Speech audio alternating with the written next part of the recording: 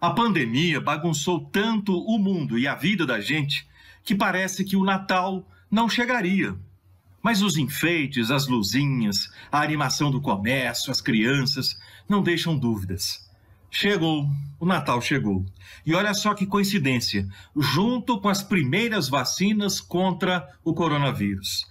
Um presente literalmente salvador. Natal parece que tem vocação para solidariedade. Nessa época bate um desejo de ajudar o próximo. Todo mundo fica mais generoso. E este ano, apesar da pandemia, ou por causa dela mesmo, parece que este Natal é mais solidário ainda do que os outros. Veja o caso do Danilo, o diretor de teatro que nós mostramos aqui na Record. Ele improvisou um circuito de corrida dentro do apartamento para não ter que sair de casa. Mesmo com tanto cuidado, pegou a doença duas vezes. Passou um perrengue tão grande que virou sobrevivente. Daqueles que saem do hospital com a plaquinha Eu venci a Covid. Danilo trocou a ceia de Natal com a família por uma farta distribuição de brinquedos para crianças pobres num abrigo no Jardim Novo Mundo. E eu resolvi comprar é, 58 presentes, um para cada uma das crianças. E acho que eu vou ter com isso, com essa ação, um, o melhor Natal da minha vida em troca da minha vida. Eu estou muito feliz e faria tudo de novo porque foi muito bacana ter feito isso. Não uma troca, mas uma forma de agradecimento. Mudança, adaptação é justamente a dica deste psicólogo para celebrar o Natal.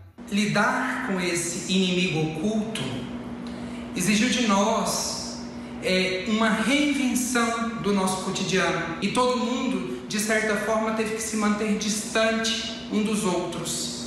E os nossos recursos internos tiveram que ser ativados, tiveram que ser reinventados para que a gente desse minimamente conta de ter uma vida mais próxima daquela rotina que a gente tinha no nosso dia a dia antes da pandemia da Covid-19. Natália teve um ano de grandes perdas. A Covid levou um tio e o pai dela num espaço de 10 dias. O pai, professor de química, alegre, brincalhão e flamenguista.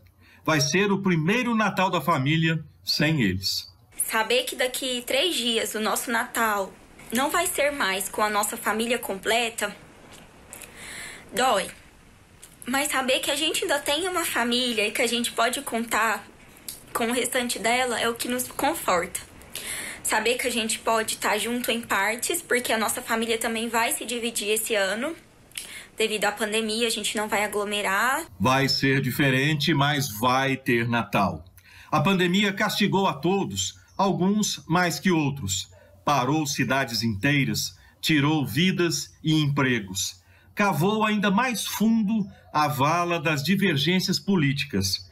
Mas não venceu a fé, a capacidade humana de criar saídas, mudar e não desistir. A nossa esperança é de trazer amor, é encontrar novamente as pessoas e quem a gente não puder encontrar, a gente pode simplesmente fazer uma oração, simplesmente dar um presente. O meu sentimento é de alegria, de gratidão a Deus por não ter perco nenhum da minha família.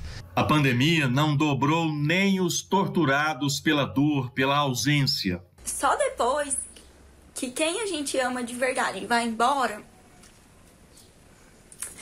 que a gente entende o verdadeiro sentido do amor, da saudade e da palavra ressignificar. Que é o que eu e a minha família a gente está tentando fazer todos os dias